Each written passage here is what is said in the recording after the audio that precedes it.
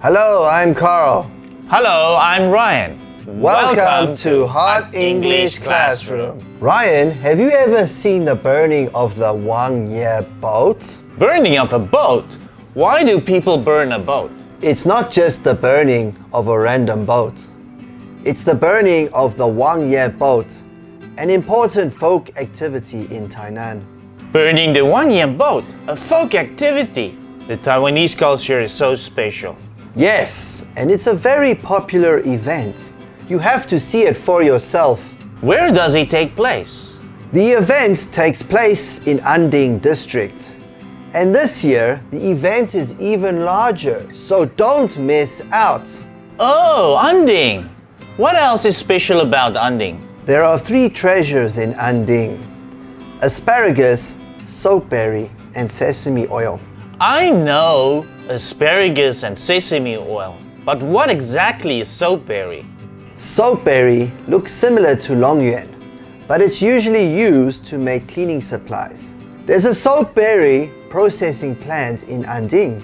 Oh, processing plants are my favorites. They are usually fun things to do and good food to eat. Basically, soapberry is inedible, just like you won't eat soap. However, there are still lots of good dishes in Anding. Tell me some of the famous dishes in Anding. You have to try the local snacks of Anding, like the nine layer cake and rice cakes. Sounds like something you'll find at a traditional market. Exactly. They are sold wholesale to market vendors. Is there anything else that you recommend? Mahua, also called fried dough twist, and peanut candy are also worth trying. By the way, it's asparagus growing season now. Wow, I really have to set up my schedule. Okay, let's review today's keywords. Let's review them.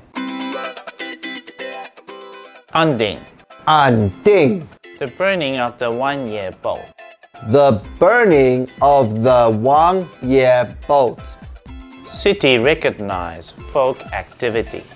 City recognized folk activity.